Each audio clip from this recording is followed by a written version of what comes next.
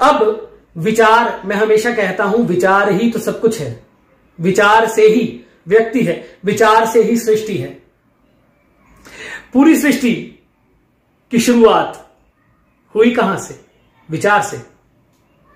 कहीं उस ब्रह्म को, उस आदिशक्ति को, उस हिरण्य गर्भ को विचार आया।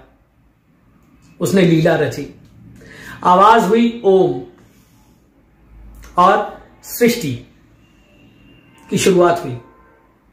अब सृष्टि की शुरुआत एक बुद्धिमान व्यक्ति के लिए, एक लॉजिकल व्यक्ति के लिए सृष्टि रहस्यों से भरी है। क्यों है? क्योंकि वह बुद्धिमान व्यक्ति निरंतर कार्यान्वित है। उन रहस्यों को पाने के लिए। एक बुद्धिहीन व्यक्ति के लिए उसका सिर्फ़ कार्यक्षेत्र या फिर उसका जितना दायरा है, सिर्फ़ वो ही उसकी दुनिया है। परंतु एक बुद्धिमान व्यक्ति के लिए जिसके अंदर माँ भगवती ने वह ज्ञान का तंतु बुद्धि रूप में या न्यूरॉन्स के रूप में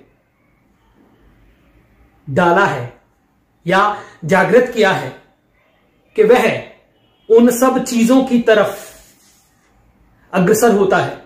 उन सब रास्तों की तरफ़ अग्रसर होता है, जो रास्ते किसी को प्राप्त नहीं हो पाए।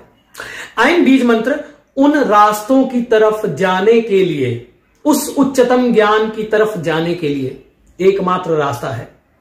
एकमात्र शक्ति है आइन बीज मंत्र।